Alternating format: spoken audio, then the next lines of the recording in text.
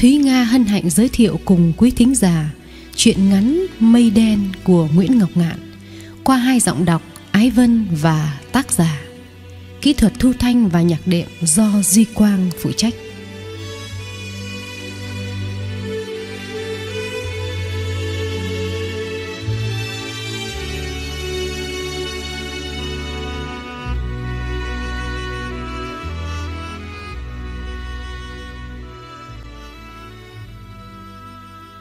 Hai gã thanh niên lay hoay một lúc khá lâu mới luồn được sợi dây thòng lọng vào cổ con chó gầy, rồi thay nhau lôi sành sạch ra cổng.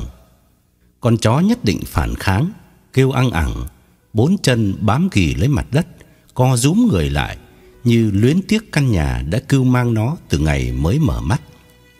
Mặc kệ, một người cứ thản nhiên kéo và người kia bẻ vội cái roi tre quất vùn vụt vào lưng, khiến con vật cuống quýt chạy quanh và kêu lên ai oán. Lũy chống nạnh đau đớn đứng nhìn theo. Vợ anh thì ngồi bệt xuống sân đất, dựa lưng vào gốc cau, thút thít khóc. Mấy hôm nay chị đã khóc nhiều, tưởng chừng không còn nước mắt. Thế mà hôm nay lại phải nhỏ lệ vì thương con chó bị người ta bắt đi như cắt một phần da thịt của chị. Cả tuần nay thiên hạ kéo đến tịch biên đồ đạc của vợ chồng Lũy để trừ nợ.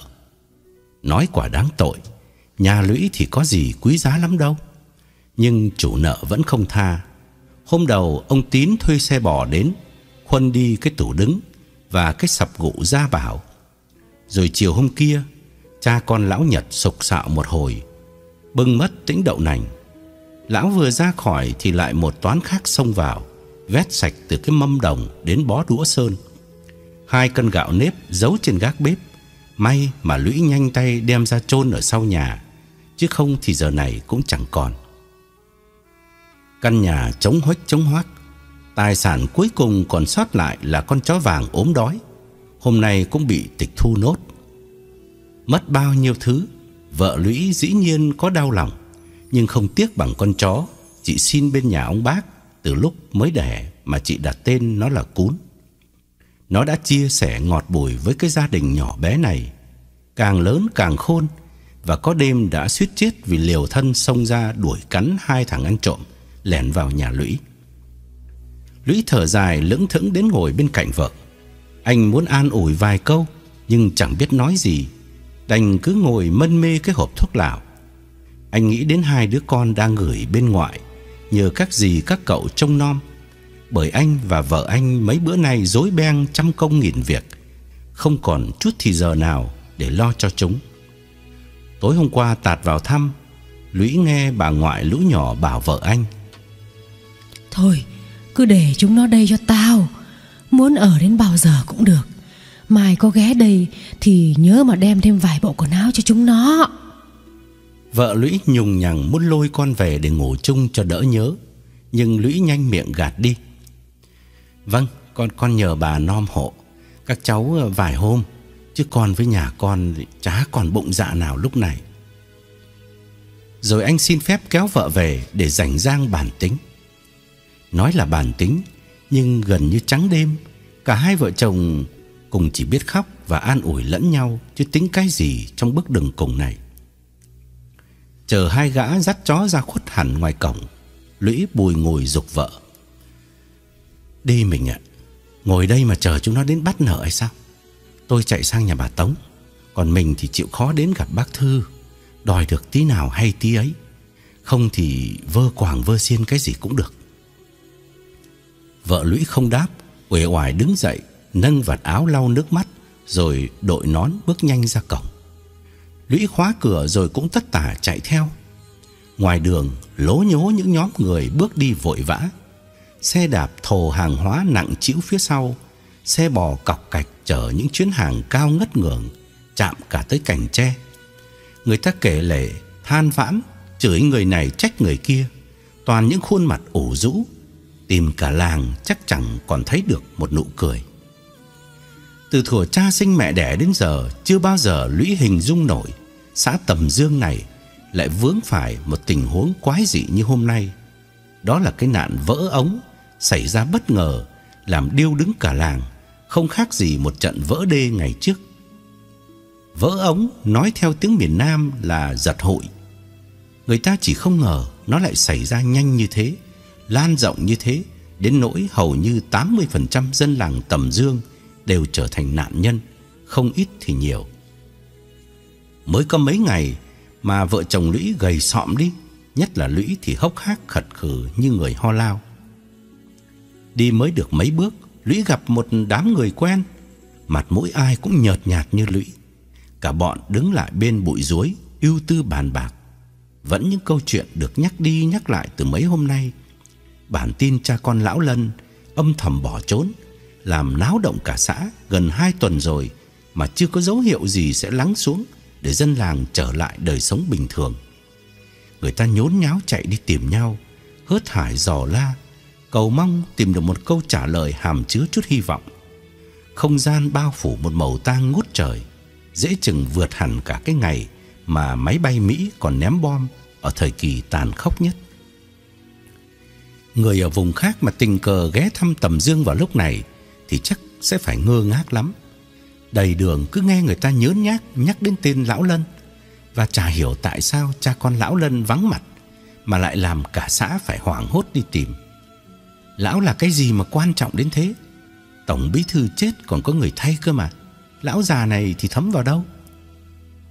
Đúng thế, nhưng với dân Tầm Dương bây giờ thì tổng bí thư cũng chả đáng kể tí nào nếu đem sánh với vai trò của lão Lân.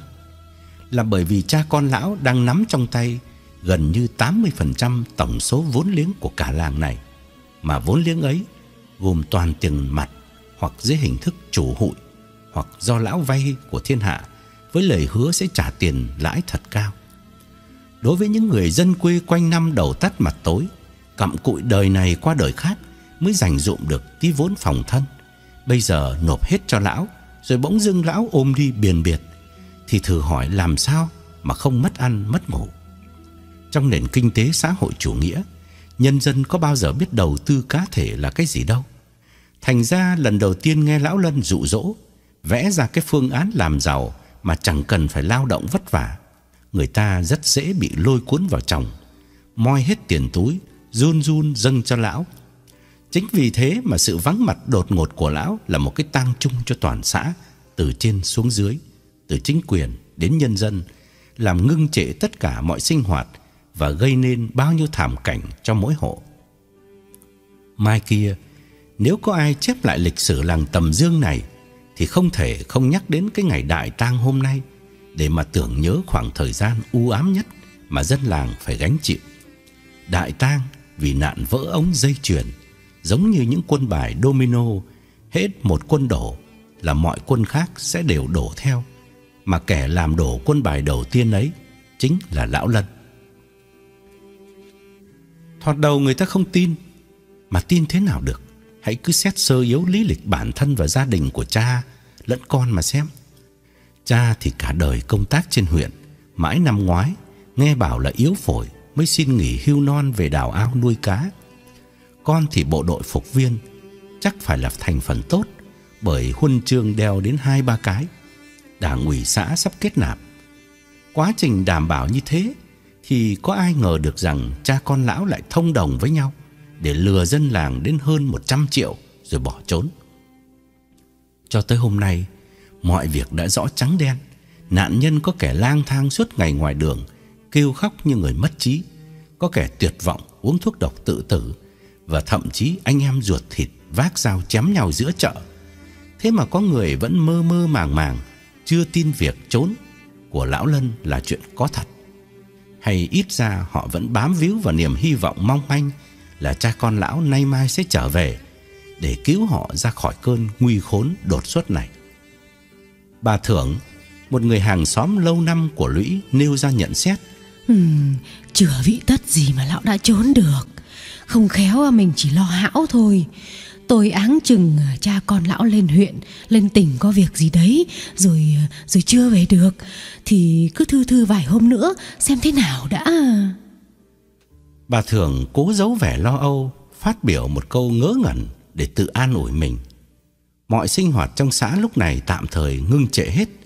Người ta tụm năm túm ba ở cổng chợ, ở sân đình, ở trước cửa nhà đã khóa kín của lão Lân, và ở bất cứ chỗ nào họ tình cờ gặp nhau, chẳng hạn như ngay trong trụ sở ủy ban hoặc đồn công an. Câu nói của bà Thưởng chưa dứt, Lũy đã gắt gỏng phản đối. Cha con lão đi biệt cả nửa tháng rồi rồi còn còn trông mong cái gì nữa? Nhưng mà hộ khẩu của lão ở đây, lão trốn đi đâu mới được cơ chứ?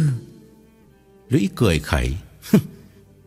Chuyện lão ôm hơn 100 triệu Ví thử mà có muốn mua đến mấy cái hộ khẩu ở giữa Hà Nội cũng vẫn còn được cơ mà.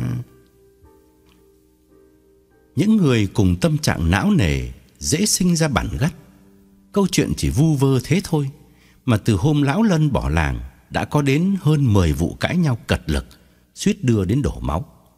Họ cãi nhau về những chuyện không đáng cãi hoặc những chuyện hoàn toàn vô ích, vì dù thắng hay thua cũng chẳng giải quyết được gì, bởi cái thằng thủ phạm ôm tiền chạy là lão Lân thì giờ này không ai biết lão ở phương trời nào. Chỉ còn đám nạn nhân ngồi cấu xé lẫn nhau thôi. Có người quả quyết đầu dây mối nhợ là thằng La, con trai lão, chứ cái lão Lân hiền lành như cục đất biết gì mà dám làm cản. Người khác lại bảo là chính lão Lân chủ mưu. Lão nom lù đù nhưng là loại thừng mềm trói chặt. Có người sành sỏi nhấn mạnh hai ba lần rằng Hèn lắm thì chuyến này cha con lão cũng phải vớ đến đến hơn 100 triệu chứ. Người khác bẻ lại. Ở đâu ra mà lắm thế? Vét cả xã này cũng chả có đến 100 triệu. Tôi tính rồi, giỏi lắm thì cũng chỉ được 70 à, triệu là cùng thôi. Trò đời thì vẫn cứ thế, hệ mất tiền là cứ phóng đại mãi lên thôi. Mất một thì khai hai, ai biết đấy là đâu. Này vợ chồng thằng Tháp ạ Có mất đồng bạc mẹ nào đâu Thế mà cứ mồm loa mép dài, Chửi mãi là là là chúng nó lừa tôi sạt cả nghiệp. Một ông cãi ngay, Bà nói thế nào ấy chứ? Đời thủa ai không mất tiền mà lại chu chéo lên là thế nào? Họ là có đồ dầu mới thế. Thế là lại thêm một trận cãi nhau. Dường như cả làng lúc này chẳng còn thiết gì đến lao động, Chỉ dình chờ cơ hội để chửi nhau, Hầu chút bớt những bực dọc, giận cá chém thớt trong lòng. Họ bất đồng ý kiến về tổng số tiền lão ôm đi đã đành, mà thậm chí còn hùng hổ tranh luận cả về chỗ ẩn núp của cha con lão nữa. Chẳng hạn như ôm ngần ấy của thì dại gì mà lần quần ở Hà Nội cơ chứ. Vào thành phố Hồ Chí Minh mà ở chứ lệ cả trăm triệu cơ mà. Một bà khác nhất trí ngay. Ừ, tôi cũng đoán thế đấy. Hôm nọ nghe lão khỏe, lão có ông em di cư năm 54 Mở hiệu ăn ở trong ấy. Giàu lắm.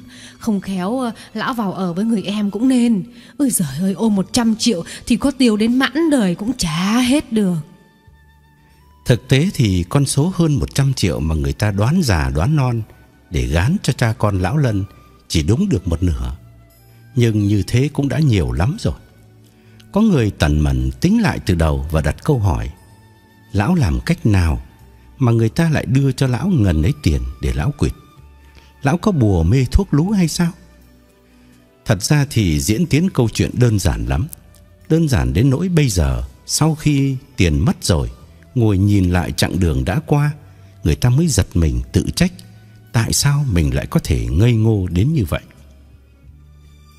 Lôi trở lại vào những năm 87-88 phong trào chơi hội ở miền Nam bỗng dưng lan rộng khắp các hang cùng ngõ hẻm, từ thành thị xuống nông thôn, gây nên một mạng lưới tín dụng dân gian hết sức bấp bênh bởi không có luật lệ nào đảm bảo người tham dự.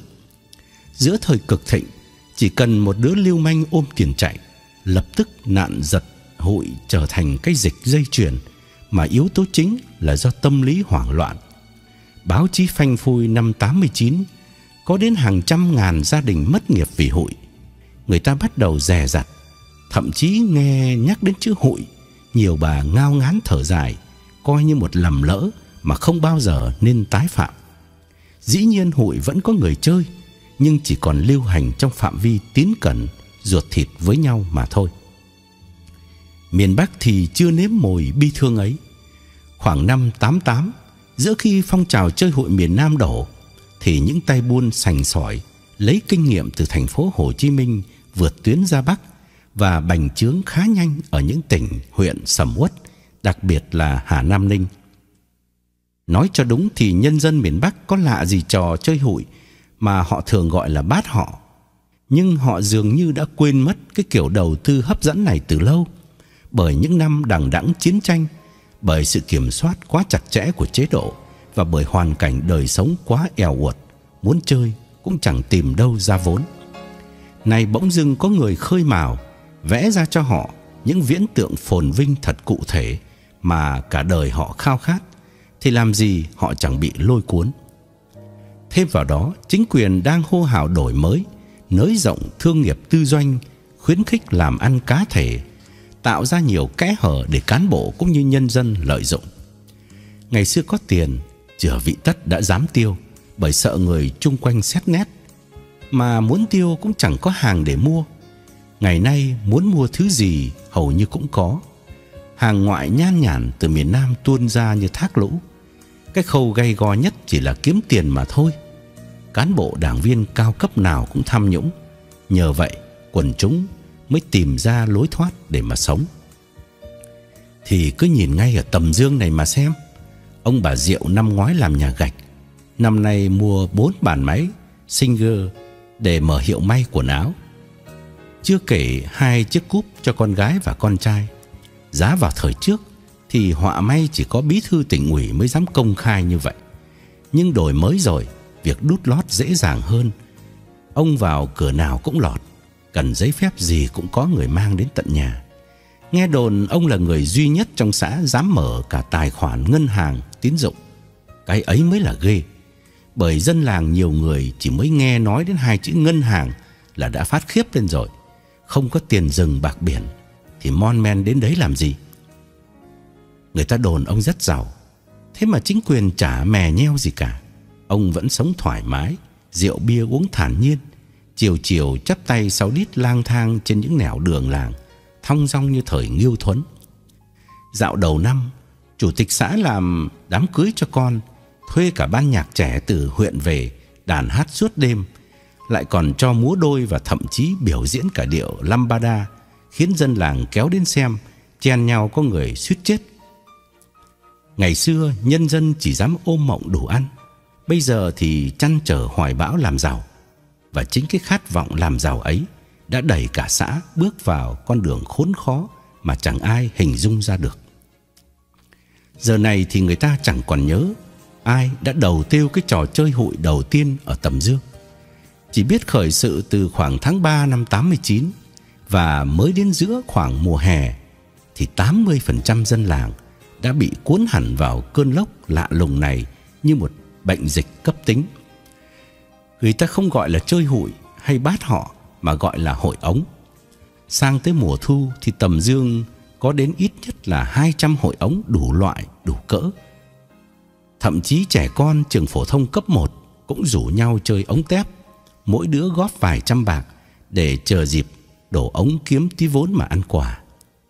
Lớn chơi to, bé chơi nhỏ, chỉ trong vòng mấy tháng cả xã nhộn nhịp lao vào cuộc vui háo hức. Tuần nào tháng nào cũng họp mặt để mở ống. Rượu bia ùn ùn từ huyện trở về từng xe thịt chó nướng chả thơm lừng khắp xóm. Cha con lão Lân đầu tắt mặt tối, ngồi chỗ nào cũng không nóng đít, nhấp nhổm chạy tới chạy lui, mời người này đăng ký, người kia góp tiền, lúc nào cũng như nhà có đám. Cơn sốt hội ống hừng hực thúc đẩy, khiến những người dừng dưng nhất cũng phải tò mò nhảy vào vì sợ mất phần. Thẳng hoặc có ai còn ngần ngại thì lão sẽ giả vờ lấm lét nhìn quanh rồi ghé sát cái mồm nồng nặc hơi men vào tận tai để trấn an bằng những câu chắc như đinh đóng cột. Lão bảo: "Tôi già đầu rồi, chẳng dại gì mà gặp ai cũng vơ. Chỗ thân tình và tín cẩn lắm thì tôi mới rủ. Nói riêng với ông thôi đấy. Bí thư xã với trưởng đồn công an mỗi người đều góp một chân. Bà vụ bên thương nghiệp đòi vào những hai chân mà tôi không cho, bảo phải nhường cho người khác chứ mà dứt khoát tôi không có gọi nhiều người. Chơi với ai thì tôi không biết chứ tôi mà cầm cái thì chỉ có 10 người thôi. Dễ thu tiền mà người muốn đổ ống sau cùng cũng không phải chờ lâu sốt ruột. Điệp khúc ấy gặp ai lão cũng phun ra. Khách đến nhà chơi, bất kể là thành phần nào, Lão đều không quên đem cuốn album ra khoe một đống hình lão chụp chung với người em ruột Trước cửa hiệu ăn Long Phụng tại thành phố Hồ Chí Minh Mà lão kín đáo tiết lộ là mình có phần hồn một nửa. Những bức hình ấy chính là thứ hậu thuẫn tín dụng rất cần thiết Để lão vay mượn sau này. Khi cần nhấn mạnh một cách cụ thể hơn Thì lão sẽ đem luôn cả mấy ông mấy bà huyện ủy Cũng có chân trong hội ống của lão. Mà điều này thì có thật. Đảng viên, cán bộ từ huyện sang xã Đều tham gia với lão Không ít thì nhiều Bởi nhà nước không hề có lệnh cấm.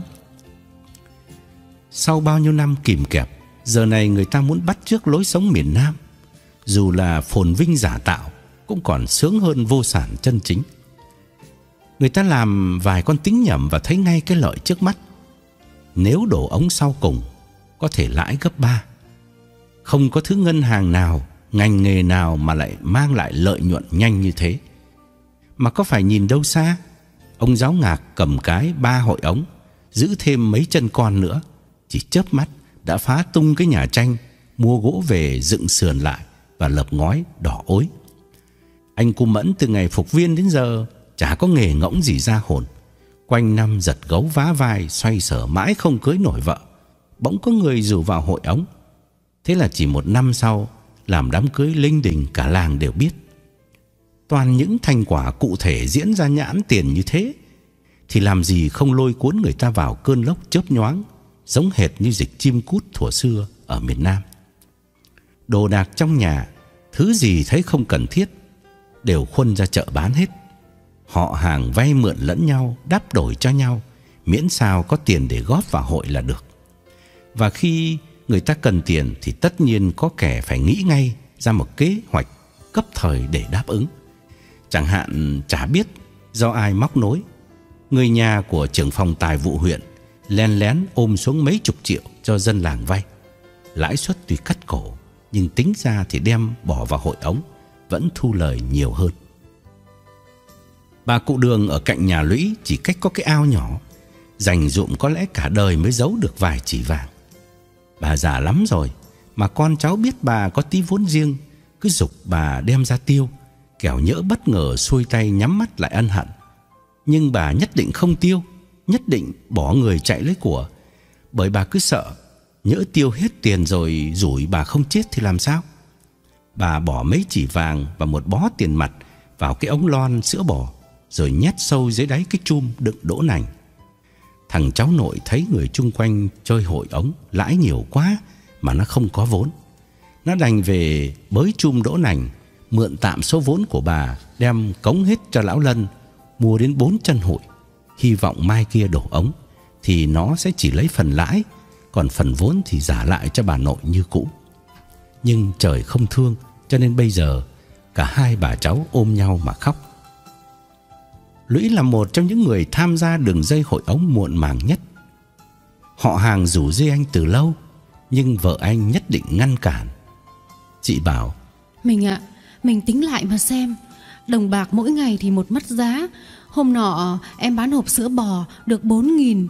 Đến lúc mẹ ốm, chạy ra mua thì lại cái con mẹ nậu nó đòi những 6 nghìn rưỡi. Thử hỏi mình, hôm nay mình góp vào hội ống 10 vạn Lãi thì rõ ràng là có lãi rồi. Nhưng một năm sau mình mới đổ ống Thì đã chắc gì 10 vạn bạc Còn mua được vài cân gạo. Thành ra cũng trả bỏ. Đổ ống sớm thì không có lãi Mà đổ sau cùng thì tiền lại mất giá. Đằng nào thì cũng thế. Lũy cãi. Ừ, Đã đành rằng thế Nhưng mà tiền dù có mất giá Cũng không thể nào mà mất nhanh như vậy được. À, Tôi tính cả rồi. Hễ mà cứ để cuối cùng mới đổ thì một lãi ba lãi bốn. Có hèn ra thì cũng vẫn vẫn lãi gấp hai cơ mà. Vợ Lũy vẫn chưa đồng ý Đem câu chuyện cũ ra để lung lạc chồng. Thì mình có nhớ cái dạo năm kia Chú Tòng chú ấy bán cái xe đạp Dốc hết ra mua công trái Chỉ vì ham lãi của nhà nước. Đến lúc đáo hạn Ra ngân hàng lĩnh cả vốn lẫn lãi Chỉ mua được có hai cái lốp xe thôi. Lũy lại cãi Chuyện công trái giả tiền lãi có 2% Ừ, Ừ, sánh thế nào được với tiền ống. Vợ Lũy thấy chồng tha thiết quá, lại thêm họ hàng cứ nườm nượp chạy lại rủ dê, chị đành chiều ý Lũy để đóng một chân, Bước đầu nhẹ nhẹ năm ba vạn Vui chung cái vui của xóm làng. Rồi từ một Lan sang hai Rồi ba Rồi bốn. Toàn người quen Không muốn chơi mà nể quá cũng phải gật đầu. Bà hàng xóm định xây cái bể nước Cần món tiền mua gạch Để dành thì biết đến kiếp nào mới đủ. Chỉ còn cách đứng ra lập hội ống Mời độ 10 người quen đến nhà Thịt con gà làm bữa cơm sao cho đẹp mắt Rồi ngỏ ý xin mỗi người giúp một tay Gọi là mượn hoa lễ Phật. Dần ra người nào cũng cầm cái Một, hai cái hội Và dĩ nhiên đóng góp vài hội khác. Hội ống sống Nuôi hội chết Tay trái truyền qua tay phải. Người làm giàu chẳng có bao nhiêu. Đa số chỉ là đeo nợ vào cổ. Tổng số tiền trong xã thành ra Chỉ luân lưu từ tay nọ sang tay kia Chứ không hề thu nhập thêm Từ chỗ khác vào. Thậm chí mỗi lần người ta cầm cái mở hội lấy thảo Hoặc hàng tháng họp nhau đổ ống Thì số tiền ấy lại vơi đi một chút Vì phải đổ vào các món thức ăn, thức uống. Thì cứ nhìn ra đầu chợ thì thấy ngay Ba bốn hiệu ăn mọc lên. Xe bia từ huyện Mỗi ngày về một chuyến Mà chưa bao giờ ế ẩm. Những cụ già lọm khọm hồi tưởng lại dĩ vãng Từ trước cách mạng tháng 8 Ngơ ngác bảo con cháu. Ai, Tao ngần này tuổi đầu Chưa có bao giờ mà thấy làng mình nhiều tiền đến thế. Cứ y như là vớt củi ngày nước lụt đấy.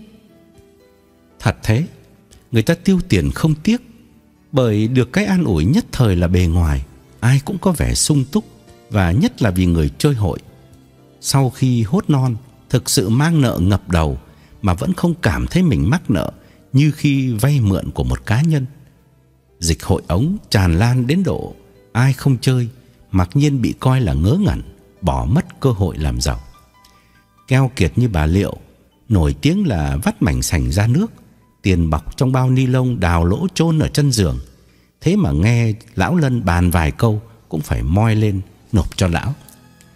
Cứ thế cho đến Tết canh ngọ Thì người ta không còn ước lượng nổi cha con lão Lân Đang nắm bao nhiêu dây hội trong xã. Chỉ chắc chắn một điều là lão rất giàu. Bố con nhà ấy à Bây giờ thì cứ việc ngồi chơi không Cứ véo dần màu ăn Thì cả đời cũng chưa có hết của. Dân làng thản nhiên bàn tán về lão như thế hoặc sầm si Hoặc công khai. Nhưng chẳng có ai bình tâm một phút Để đặt một câu hỏi phòng xa rằng, Một kẻ ôm hết tài chánh của xã vào lòng, Nói dại, Chỉ cần một chút rủi ro, Lão lăn quay ra chết, Thì ai sẽ giải quyết mọi vấn đề còn lại? Bỏ trốn thì đã đành là dân làng chẳng bao giờ nghĩ đến, Bởi chuyện ấy chưa từng xảy ra trong xã hội cộng sản. Với lại, Trốn cái gì mà trốn? Bữa tiệc mở ống hôm tiễn ông Táo. Lão Lân đã oang oang báo cho mọi người biết Là ra riêng, Lão sẽ xây nhà gạch, Lão sẽ mua hẳn một miếng đất của bà giáo phú, Làm nhà gác để chuẩn bị cưới vợ cho thằng La. Lão than căn nhà Lão đang ở hẹp quá, Không đủ chỗ tiếp khách. Lão không nói đùa, Mới mùng 4 Tết, Lão đã lên huyện dọ giá ngói giá gạch, Rồi nhờ người quen móc ngoặc với thương nghiệp, Chuẩn bị Nay mai khuân về vài chục bao xi măng. Thằng La chẳng úp mở gì nữa, Bảo thằng người yêu là Xây nhà xong sẽ tổ chức đám cưới, Làm to cho dạng dỡ cả dòng họ, Cho bỏ những ngày đói khổ thủa trước.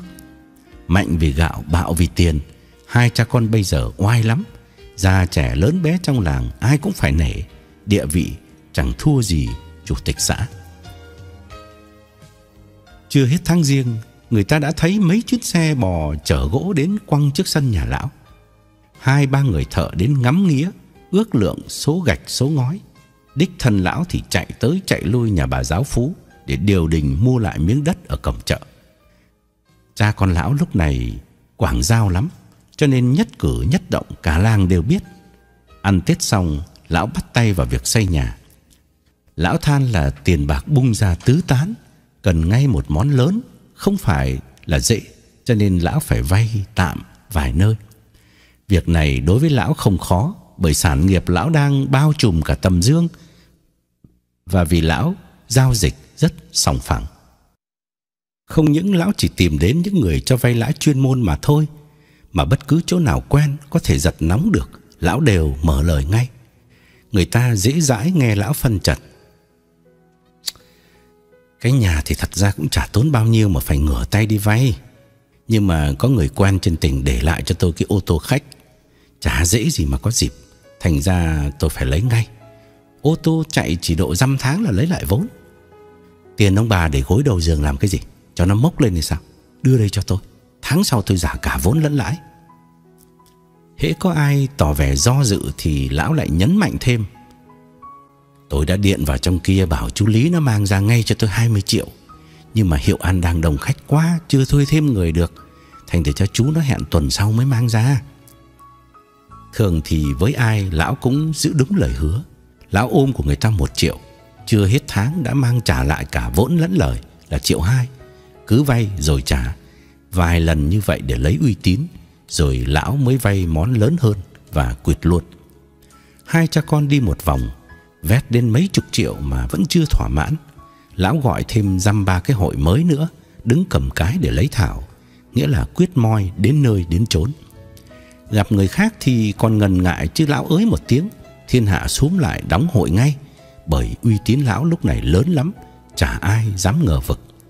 Hơn thế nữa, Chuyện đời có qua phải có lại, Cư xử với nhau về lâu về dài, Không thể chỉ biết nghĩ đến mình. Biết bao nhiêu người trước đây cần tiền đột xuất, Đôn đáo đi tìm chân hội. Đến gõ cửa nhà lão Lão vui vẻ đóng góp ngay Như một cách giúp đỡ bà con lối xóm. Chả nhẽ bây giờ đến lúc lão hỏi, Lại quay mặt đi. Thành ra vô tình cả làng cứ thi nhau dốc hết hầu bao Mà nộp cho cha con lão.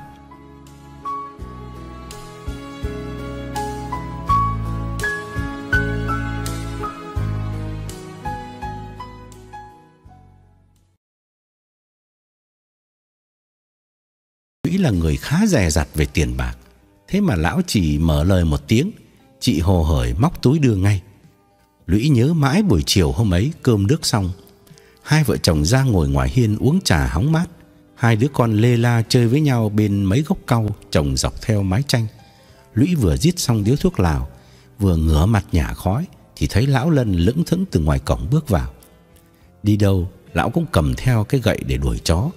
Và điều đặc biệt là mặc dù làm ăn khá giả Đứng vào hàng cự phách trong xã Mà suốt ngày lão vẫn chỉ mặc có mỗi một thứ y phục duy nhất Đó là bộ đồ bộ đội Với cái nón cối đã cũ Ai hỏi thì lão sẽ giải thích rằng lão là người không quên gốc. Chỉ có một lý do đó thôi. Lão khệnh khạng vung vẩy cây gậy tiến vào. Vợ chồng Lũy vội đứng dậy đón khách. Vợ Lũy đon đà. Chào ông ạ, à. mời ông vào chơi xây nước. Lão Lân không đáp. Lão đứng lại giữa sân nheo mắt nhìn căn nhà của vợ chồng Lũy. Rồi lại nhìn quanh hai bên đầu nhà, mảnh sân, cái ao nuôi cá Vợ chồng Lũy chưa hiểu gì Thì lão thân mật cất tiếng Cái thế đất này đẹp lắm Nhưng mà chỉ tiếc là cái nhà này thì nát quá rồi Chú bảo thật Sao các cháu không dỡ bỏ đi Xây nhà gạch Để cái lều này nó làm hỏng cả cái thế đất đi Hoài của Nói thế thì đúng là gãi vào chỗ ngứa sâu kín của Lũy. Ở nhà quê ai mà không mơ nhà ngói cây mít. Lũy đã tính toán từ lâu Nhưng biết mình chưa đủ sức. Anh định năm tới anh sẽ khởi sự xây cái bếp trước Rồi vài năm góp thêm ít vốn Từ từ mới xây nhà trên. Vợ Lũy cười bảo Lão Lân Chú nói nghe thích nhỉ Cứ y như là chuyện thần tiên ấy. Ừ, Nhưng mà chúng cháu đào đâu ra tiền mà xây nhà? Chị chưa nói dứt câu Thì lão đã ngồi xuống trên bậc thềm Ngay bên cạnh Lũy Tự tiện nhấc cái điếu cày và tra thuốc vào nó Lũy ân cần châm đóm cho lão rít Lão nhà khói hai ba đợt rồi mới đổi cách xưng hô thân thiện hơn bảo vợ chồng Lũy. Tiền thì đã có chú, chúng mày lo cái gì? Mà xét cho cùng thì chúng mày cần gì phải nhờ đến chú. Mấy giây hội ống của vợ chồng mày còn nguyên cả đã đổ cái nào đâu. Chú không có xui dại chúng mày đâu. Chú nói thật, chú đi đánh giặc bao nhiêu năm, không mong tổ quốc ghi công, mà chỉ mong cái xã Tầm Dương này mai kia dựng cho chú cái bia ghi rằng chú đã góp công đổi mới cả xã để hộ nào cũng có nhà gạch mà ở. Vợ chồng Lũy nhìn lão cảm phục lắm. Những lời chí tình ấy ai nghe mà chả nao nao cảm động. Ngừng một chút lão lại thêm. Chú đi tiền phong là vì thế. Chú xây nhà gạch trước rồi cả làng cứ theo chú mà làm. Chú là người đầu tiên. Vợ chồng mày là người thứ nhì, Nghe chưa? Vợ chồng Lũy sung sướng lắm, Nhưng còn làm bộ ngần ngại mấy lần thoái thác. Lão kết luận, Thôi thế này, Ra riêng ngày rộng tháng dài, Dỡ tung cái nhà này ra Khuôn gạch về mà xây. Cần bao nhiêu tiền cứ bảo chú một tiếng. Ai chứ vợ chồng mày thì muốn lúc nào tao cũng được. Vợ chồng Lũy liếc mắt nhìn nhau ngầm nhất trí trong niềm vui thầm kín. Nhưng cái vui của vợ chồng Lũy không thấm gì so với cái vui của Lão Lân. Bởi khi biết chắc cả hai vợ chồng đều đã hài lòng, Lão mới nhập đề hỏi mượn tiền. Lão giật nóng một thời gian rất ngắn thôi. Bởi chú Lý nó ở trong thành phố Hồ Chí Minh chưa kịp đem tiền ra.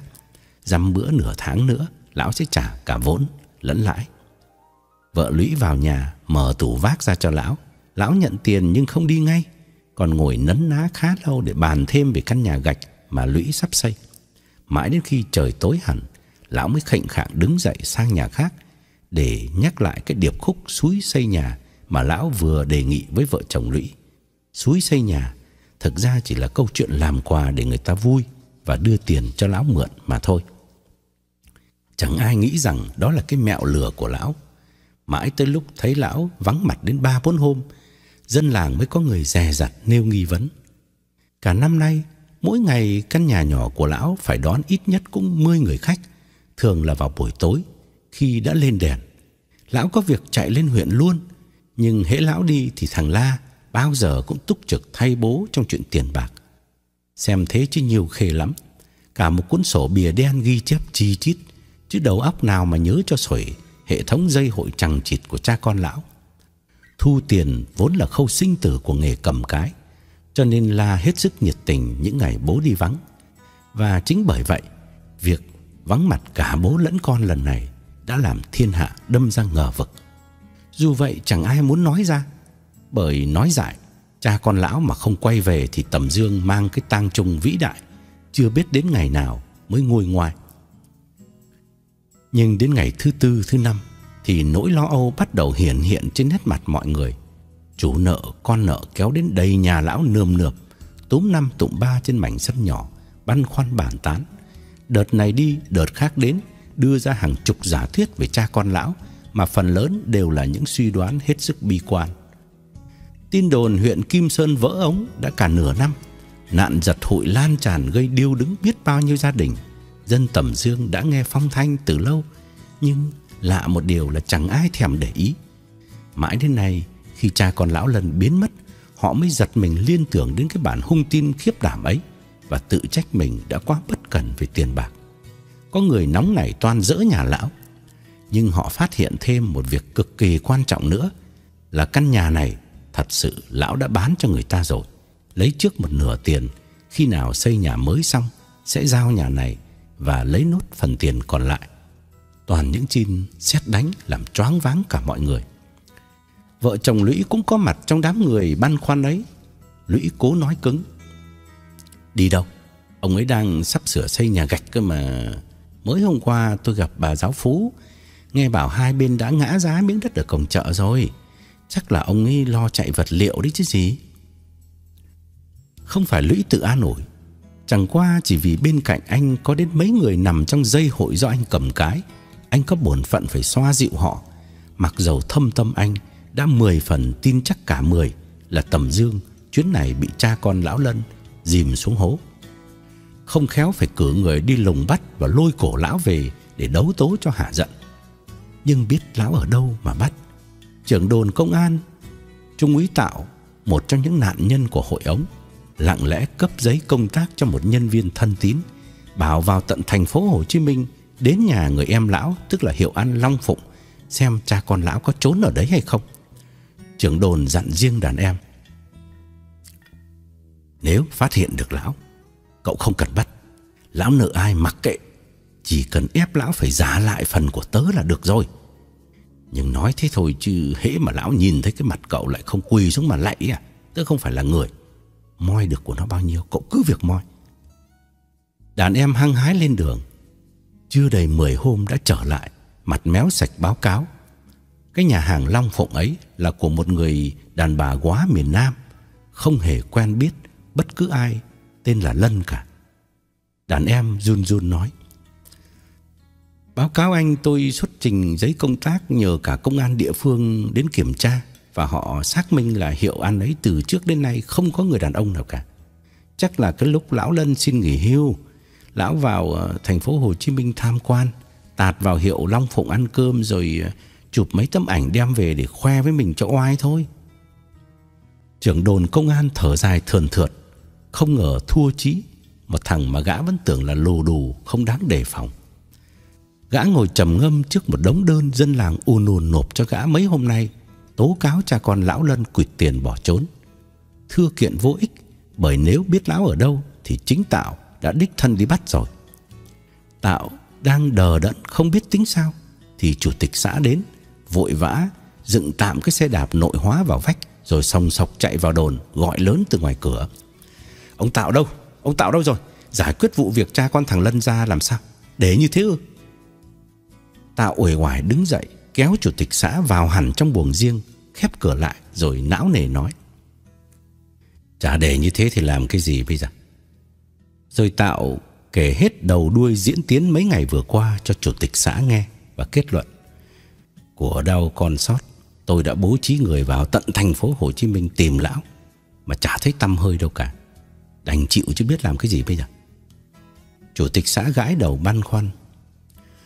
Tôi thì tôi chả mất đồng bạc nào, Nhưng mà tình huống này mà kéo dài Thì cả xã cứ thấp tha, thấp thỏm, Dở sống dở chết như thế này Thì còn ai nghĩ đến lao động nữa? Trưởng đồn công an buông xuôi. Vẫn biết thế Nhưng mà ông bảo tôi làm thế nào bây giờ? Gã vừa dứt lời Thì từ ngoài cửa lại có tiếng gọi lớn Ông Tạo đâu rồi Cả hai cùng nhận ra giọng bí thư xã Lại thêm một khuôn mặt lãnh đạo lo âu đến hội ý để tìm phương án bắt cha con lão lần. Tạo mở cửa đón đàn anh, rồi cả ba ngồi trong buồng bàn tính. Ba cái đầu, ba đảng ủy viên, mỗi người theo đuổi một chủ đích khác nhau. Trưởng đồn công an thì chỉ cần lấy lại tiền. Chủ tịch xã không chơi hụi nên không bận tâm đến tiền, mà chỉ mong cho xã ổn định đời sống để bắt tay lao động trở lại, đừng để huyện phê bình. Riêng đồng chí bí thư thì là tổng hợp cả hai ý nghĩ trên nghĩa là vừa muốn lấy lại tiền, vừa muốn giải quyết toàn bộ cuộc khủng hoảng hiện nay cho cả xã. Gã bảo hai đàn em. Bây giờ ta lập ngay một toán công tác đặc biệt, bố trí độ 3 4 đồng chí công an vào toán ấy, chỉ lo có mỗi một việc là đi bắt cha con lão Lân thôi. Chả biết là có kết quả gì hay không, nhưng mà trước mắt ta cần thông báo cho mọi người trong xã biết là ta có quan tâm tiến hành điều tra và thể nào cũng bắt được cha con lão. Có như thế đó, thì nhân dân mới an tâm, mọi việc mới trở lại bình thường được. Nếu cần thì ta cho từng xóm, từng thôn tổ chức học tập. Hai đàn em nhất trí gật đầu ngay, cảm phục bí thư xã, xử trí bén nhạy, tạo hung lên nói một câu vô nghĩa. Phen này mà tôi tóm được lão thì lão biết tay tôi. Bí thư xã đứng dậy ra về và bảo tạo Tiến hành ngay đi Nội ngày hôm nay phải thành lập xong toán công tác Sáng mai bảo chúng nó sang gặp tôi thi hành đúng chỉ thị của bí thư. Ngay hôm sau, chủ tịch xã và trưởng đồn công an rầm rộ làm lễ xuất quân, tiễn đưa toán công tác đặc biệt lên đường. Năm đồng chí công an dày dạn kinh nghiệm, ai cũng nai nịt oai vệ, khí thế thật đẹp, hạ quyết tâm phen này trói cổ cha con lão Lân giải về cho toàn xã xử tội.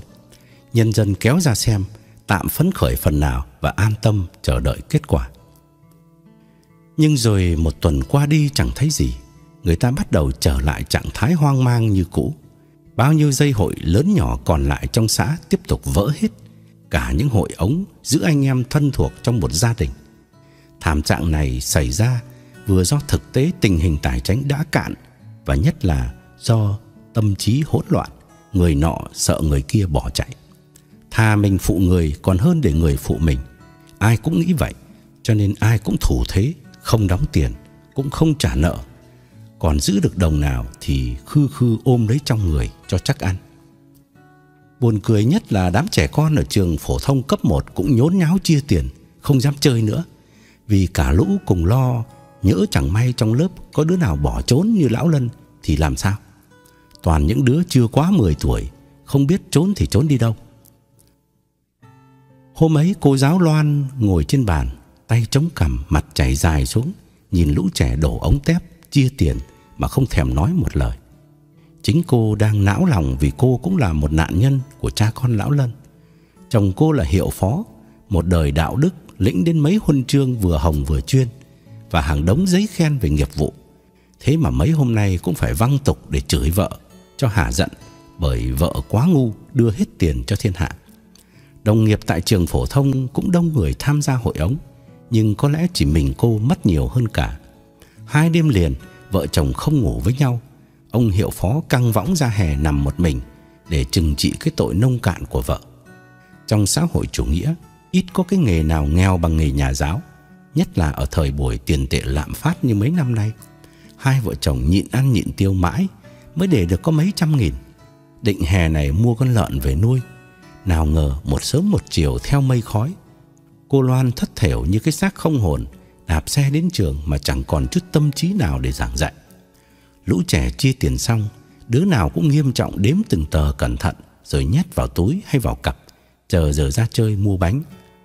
Cô giáo thấy ngồi mãi cũng kỳ, uể oải đứng dậy, cầm phấn, viết hai câu lên bảng và bắt cả lớp chép theo. Trời mưa thì mặc trời mưa, chưa xong thủy lợi, anh chưa chịu về. Một đứa đứng dậy hỏi: "Thưa cô, câu này cô mới cho chép hôm qua ạ?" À? Cô giáo gắt lên: "Ừ, thì hôm nay cứ việc chép lại chứ làm sao?" Cả lớp im lặng không dám xì xào nữa. Chúng mơ hồ đoán rằng cô mà đã nổi nóng thì chắc phải có chuyện gì ghê gớm lắm. Những người bị cha con lão lân gạt gẫm phút chốc cơ nghiệp tan như bọt nước đã đành, mà ngay cả những người không dính dáng gì đến đường dây của lão cũng la toáng lên là bị lão lừa để nhân dịp này quyệt nợ. Đặc biệt những người đã đổ ống trước, nghĩa là đáng lẽ phải đóng hội chết hàng tháng, bây giờ cũng mượn gió bẻ măng, kêu ầm lên là nạn nhân của cha con lão để lờ luôn không đóng tiếp nữa. Tầm dương phút chốc như bao trùm tử khí, vào nhà nào cũng nghe tiếng thở dài, cũng nhìn thấy những dòng lệ. Những người như Lũy đã cay đắng mất tiền vì mấy cái hội đang đóng dở bị nhà cái bỏ chạy, lại còn đau hơn nữa vì chính Lũy cũng cầm cái đến 4 năm bát hội, bây giờ người ta ùn ùn đến đòi, không biết cách nào mà giải quyết bởi những người đã đổ ống trước đây bây giờ ì ra không chịu đóng tiền cho Lũy. Bà Lục làm nghề thợ nhuộm, bế đứa con một tuổi, mũi dãi chảy lòng thòng ướt đẫm cả ngực áo, tìm đến Lũy, ngoéo đầu bảo: Thôi thôi thôi, tôi chẳng cần lời lãi gì cả. Tôi góp ống cho anh chị 7 tháng nay, cứ giả lại vốn cho tôi là được rồi. Lũy phân bua. Tôi đào đâu ra tiền mà giả bác bây giờ. Trung quy cũng là tại cha con lão Lân chứ tôi có muốn thế này đâu. Này, tôi chẳng cần biết ông Lân ông Liếc nào cả. Anh rủ tôi đóng tiền cho anh thì tôi chỉ biết anh thôi. Anh có giả hay không thì bảo nào. Năn nỉ mãi vẫn không kết quả, Lũy đâm ra bực mình. Thì bác thấy đấy, tôi cũng đang chết dở chứ sung sướng gì. Bác về đi, tôi đòi người ta được rồi thì tôi, tôi giả cho bác. Người kia sừng sộ. Này, tôi không biết. Nợ ông thì ông đòi, nợ tôi thì tôi phải hỏi. Ông mời mọc tôi, nể lắm tôi mới vào hội ống của ông. Bây giờ tiền mất tật mang. Tôi hẹn cho ông đến sáng ngày mai mà không giả lại tiền cho tôi á, thì đừng có trách đấy nha. Lũy im lặng không thèm đáp. Những câu hăm he tương tự như vậy, anh nghe đã nhiều lắm rồi. Bà Lục chửi một lúc rồi lại đành ra về tay không. Trong một lúc vắng vẻ, nghĩa là không có người đến đòi nợ, Lũy nhầm tính và ngậm ngùi bảo vợ. Hmm, bác Tích thế mà lại khôn. Ai rủ thế nào thì rủ, nhất định là không vào một chân. Trưa nay anh chạy ngang tạt vào hỏi thăm, thấy cả nhà đang đánh tiết canh vịt, vui vẻ lắm. Bác ấy bảo phải là ăn mừng vì mất có hai vạn bạc thôi. Vợ Lũy khóc hết nước mắt. Đã hai hôm, giận chồng nông nổi không biết nghe lời mình. Cá không ăn muối, cá ươn, chồng không nghe vợ, trăm đường chồng hư. Cả ngày đi ra đi vào, chị không thèm nói lời nào với Lũy. Sang ngày thứ ba, Lũy năn nỉ mãi, thành khẩn hối lỗi, vợ chồng mới làm lành và chia sẻ nỗi thống khổ với nhau. Anh đau nhói tưởng chừng có thể lao đầu xuống sông được, nhưng vẫn đem những thiệt hại to lớn hơn của người khác ra để an ủi vợ và tự chấn an mình. Anh nói: "Nghe bảo ông thống tự tử rồi." Vợ anh không ngạc nhiên, mất từng ấy tiền thì chết là phải. Mấy chục triệu đồng cho vay lãi nạp cho cha con lão Lân gần một nửa Phần còn lại san sẻ trong làng. Nhưng bây giờ cũng chẳng ai trả lại cho Bởi họ có tiền đâu mà trả. Vợ Lũy trầm ngâm góp ý. Anh thử tính xem Tiền mặt cho cha con lão Lân Thì kể như là bỏ hẳn rồi Thôi đừng bàn đến nữa. Bây giờ chỉ xem là bao nhiêu người nợ mình Và mình còn nợ bao nhiêu người nữa thôi. Đề nghị của vợ thực ra đã nằm sẵn trong đầu Lũy từ mấy hôm nay Làng này hầu như ai cũng lâm vào tình cảnh y hệt như Lũy Bởi ai cũng vừa là nhà cái Vừa là chân con Cho nên ai cũng là chủ nợ Và đồng thời cũng là con nợ. Để tránh mất thì giờ Người ta mới nghĩ ra cách đem nợ của người này gán qua người khác. Chẳng hạn hôm qua Lũy sang nhà bà Hữu đòi tiền Thì bà lôi ngay Lũy ra cổng và bảo Bác cứ sang đây với tôi. Lũy theo bà sang nhà hàng xóm. Bà chỉ người hàng xóm và bảo Lũy đây này, thế này nhá Tôi thì nợ bác Nhưng mà bà này lại nợ tôi. Thôi thì à, tôi gán qua cho bác đấy Từ nay bác cứ lại đấy mà hỏi. Lũy lắc đầu chán nản Bởi cái người mà Hữu gán nợ Lại chính là chủ nợ của Lũy. Chính Lũy cũng đang thiếu tiền người ta Mà không biết làm cách nào để thanh toán. Thành ra cả làng cứ dối beng như mớ bỏng bong. Không kể tiền cho vay Chỉ tính riêng tổng số những người nằm trong dây hội của Lũy con số đã lên đến vài chục. Người đổ ống rồi bây giờ không chịu đóng. Người nai lưng đóng hàng tháng, Chưa kịp hốt, bây giờ mất sạch. Bởi Lũy không thu được tiền của người khác Thì lấy đâu mà trả. Thành ra, anh một cổ đôi chồng Không biết tính thế nào để giải quyết nỗi bế tắc hiện tại. Bước sang tuần thứ ba, Khi toàn xã không còn chút mảy may hy vọng nào Về cha con lão Lân sẽ trở về, Thì những người mất của Bắt đầu nghĩ ra biện pháp quyết liệt Là họ xông vào nhà con nợ, Tịch thu đồ đạc. Tiên lễ hậu binh Không thể ngon ngọt nói khéo mãi được nữa. Phải ra tay. Phương án này thực sự thì cũng không có gì mới mẻ. Chẳng qua là dân làng học được ở chính quyền mà thôi. Là vì mỗi kỳ thu sản, Hộ nào không góp đủ thóc lúa Thì lập tức ủy ban cho công an và thanh niên Đến khuân đồ đạc mang ra quăng ở trụ sở. Những cái tủ đứng, bàn ghế, nồi niêu. Nói chung bất cứ thứ gì có thể lấy được là họ lấy hết. Ở làng này đôi guốc đứt quai còn có thể bán được Huống chi là đồ gia dụng. Hai năm trước trong đợt thu sản của xã nhiều hộ không nộp đủ thóc như chỉ tiêu quy định đã bị cán bộ đến tận nhà bắt nợ, khiêng hết những gì đáng giá về tập trung tại văn phòng, chờ khổ chủ xoay sở mang tiền hoặc mang lúa ra chuộc. Bà bác họ của Lũy đã trên 60, hôm ấy đang ốm nặng nằm rên hừ hừ trên cái sập gỗ. Toán thanh niên kiểm tra đến nơi, được lệnh phải tịch thu cái sập. Một người vốn quen biết với Lũy, lễ phép nói với bệnh nhân. Cụ cảm phiền nằm tạm dưới đất cụ nhé. Mai kia cụ bảo các anh các chị mang thóc ra chuộc giường về cho cụ nằm. Dứt lời hai người xuống vào. Người nhấc đầu Người nâng chân Nhẹ nhàng khiêng bà cụ bỏ dưới đất Rồi thơ thới lôi cái sập ra Chất lên xe bò. Chẳng biết đứa nào khởi xướng ra cái trò quái ác này ở tầm dương. Nhưng chỉ mới ba hôm Nhà lũy đã trống hốc như căn nhà hoang. Cái tủ gương mới sắm bộ salon gỗ đánh vẹt ni màu đậm mua lại của người em họ, máy cắt xét Nhật, bình thủy Trung Quốc, tất cả đều lặng lẽ ra đi. Hết đồ đạc, người ta lục đến gạo, khoai, đỗ, lạc, thứ gì ăn được là khuân tất.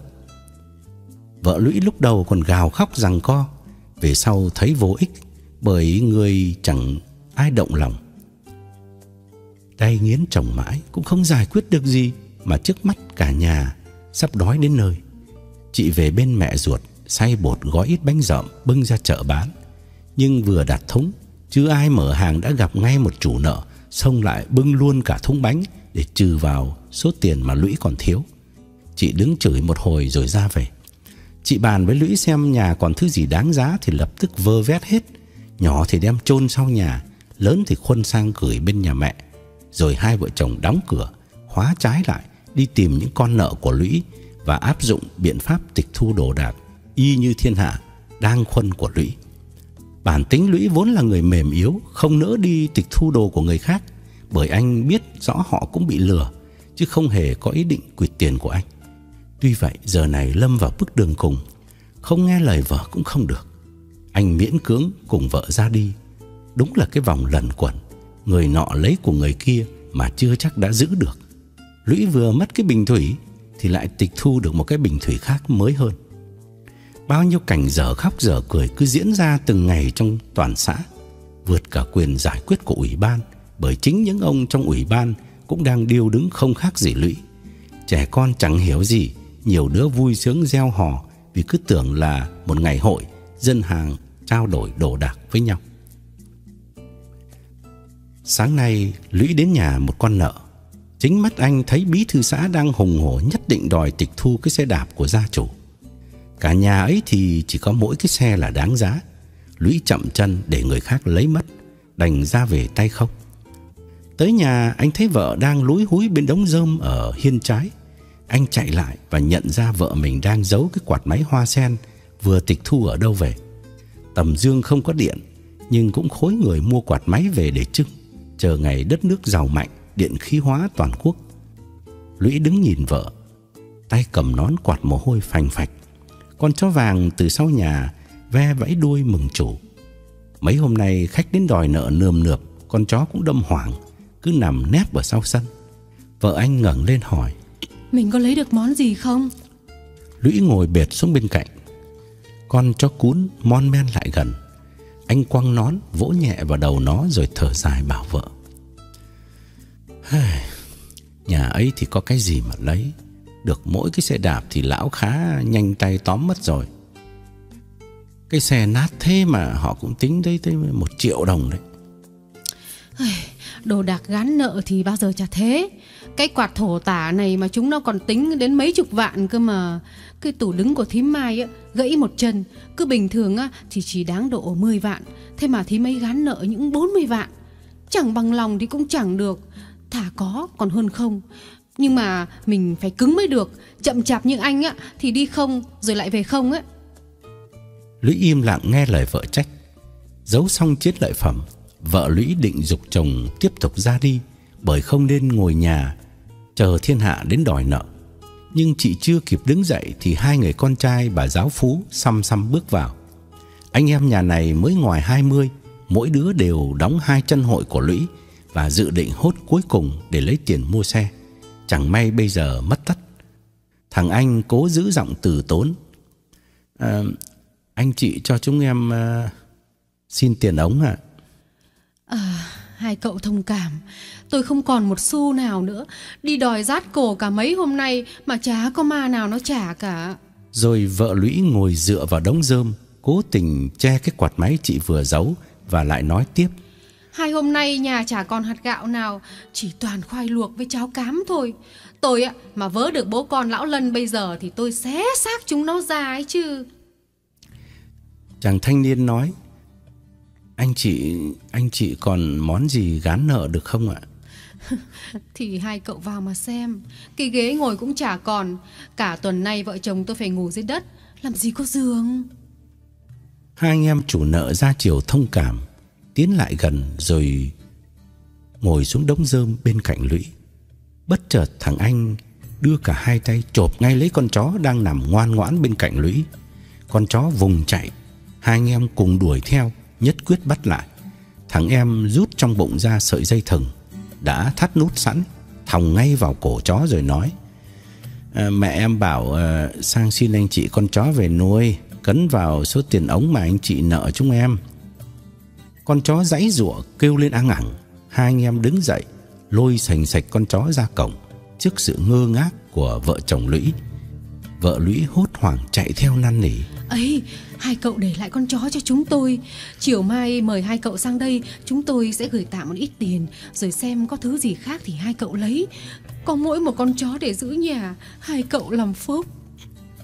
Nhưng mà hai anh em bình thản bước đi như không hề nghe thấy tiếng năn nỉ của vợ Lũy. Thằng anh cầm sợi dây, thằng em vung cây roi nạt, quyết không để cho vợ chồng Lũy lung lạc. Người và chó ra khỏi cổng, vợ chồng Lũy mới đưa mắt nhìn nhau và cùng tự trách là mấy hôm nay đã không hề ngờ tới việc người ta sẽ tịch thu luôn cả con chó.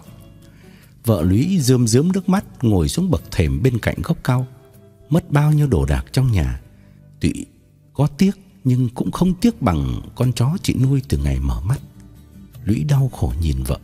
Thảm cảnh này là do chính anh gây nên Và anh chỉ còn cách duy nhất để an ủi vợ là dục vợ cùng anh đi bắt nợ, Gỡ gạc được chút nào hay chút nấy. Ba hôm sau, Vợ chồng Lũy đến nhà Phùng Ở phía sau chợ. Tay này cũng mất nặng vì chơi đến 6 chân hội. Từ hôm tầm dương đồng loạt vỡ ống, Lũy đã ghé đây hai lần, Nhưng Phùng đều đi vắng, Bởi chính anh Cũng phải xông vào nhà khác để bắt nợ. Chiều nay vợ chồng Lũy đột nhập Vào đúng lúc Phùng đang ăn cơm. Mâm cơm đặt trên cái chõng cũ. Chỉ có mỗi bát canh rau rền Nom rất thảm não. Thấy Lũy Phùng đứng dậy. Anh chị ngồi tạm đây. Đấy anh chị xem đấy. Đến cái ghế cũng chẳng còn. Cả đời tôi chắc chả có cái đau nào Mà nó thấm thía hơn cái, cái, cái nỗi đau này. Vỡ ống còn nặng hơn cả vỡ đây Câu nói chặn họng cốt để Lũy đừng mở mồm đòi nợ Nhưng vợ Lũy vẫn không tha. Chúng tôi thì còn vất vả gấp trăm nghìn lần anh á. Anh cũng biết, Tôi chả phải kể. Biết là anh cũng túng, Nhưng mà anh liệu có được tí nào thì đưa tạm cho chúng tôi Để trả dần cho người ta? Phùng thẳng thắn đáp. Chị ơi, tiền không có đã đành, Mà đồ đạc thì anh chị thấy đấy, Họ khuân tiệt. Thiếu điều chỉ còn có, Chưa có nhổ mấy gốc mít nhà tôi đấy thôi. Vợ lũy không mỏi lòng. Hoàn cảnh bắt chị phải trở nên cứng rắn với mọi người. Mặc dầu bản chất của chị không như vậy Chị nói Thì ờ, mấy bụi tre của anh ở sau nhà Gọi người đến mà bán đi Ít ra cũng phải được cả triệu bạc cái chứ.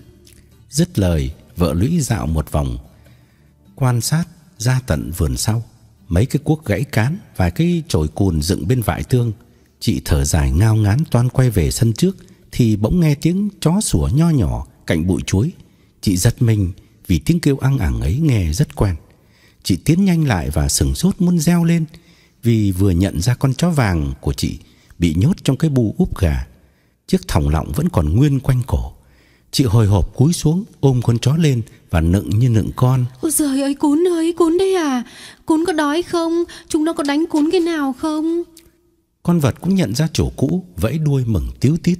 Chị chớp mắt ôm con chó đi nhanh vào nhà và bảo Phùng Thôi, anh chả còn cái gì đáng giá Thì tôi lấy tạm con chó này về nuôi vậy. Lũy đứng bật dậy chạy lại bên vợ.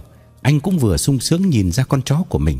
Anh đưa tay tháo sợi dây thừng Mà anh còn nhớ rõ là hai đứa con trai bà Phú Đã cột vào cổ nó, Lôi ra khỏi nhà anh hôm qua để siết nợ. Anh vạch lớp lông trên lưng nó Và an lòng vì không thấy vết tích của làn roi nào. Phùng vừa ăn xong ngồi hút thuốc lào Và cau mày nhìn vợ chồng Lũy. Anh chưa biết con chó này Vốn là của vợ chồng Lũy, Cho nên anh hơi ngạc nhiên Thấy họ vỗ về con chó có vẻ tận tình quá. Nghe vợ Lũy Đề nghị tịch thu chó, Phùng thản nhiên phân trần. Bà Phú bà ấy nợ tôi hơn triệu bạc, Tôi sang mấy bận trả đòi được đồng nào. Mà đồ đạc thì thiên hạ nhanh tay khuân hết tất cả rồi. Nhìn trước trông sau không còn cái gì Thì tôi mới đành bắt tạm cái con chó này vậy. Nhà bà ấy thì có nuôi chó bao giờ đâu. Chắc là cũng tóm ở đâu về để trừ nợ đấy thôi. Chó với lại má Bằng cái nắm tay lại gầy chơ cả xương ra. Thế mà bà ấy gán nợ 30 vạn đấy. Phùng đang nói dở câu Thì vợ anh từ ngoài cổng bước vào, Tay cầm nón phe phải quạt, Nét mặt hết sức mệt mỏi. Chị đi cả một ngày rồi lại về không như hôm qua. Chị khẽ gật đầu chào vợ chồng Lũy Rồi tiến thẳng lại ngồi xuống bậc thềm. Phùng quay sang bảo vợ, Anh chị Lũy bắt con chó này cấn nợ đấy. Vợ Phùng hờ một tiếng rồi nói. Hừm, 30 vạn của bà Phú đấy. Đời thủa nào lại có chuyện chớ trêu như thế này? Nhưng mà thôi đành chịu vậy Chứ biết làm sao. Không thì không lấy thì đứa khác nó cũng lấy mất. Phùng tiếp lời vợ. Thôi thì anh chị đã cất công sang đây. Tôi cũng chả còn gì mà đưa cho anh chị. Anh chị thích thì lôi nó về mà nuôi Chứ tôi thì tôi nói thật. Cơm chả có mà ăn Giữ làm gì cái con chó thổ tả này. Anh chị ôm về đi cứ xem như là tôi giả anh chị được 30 vạn.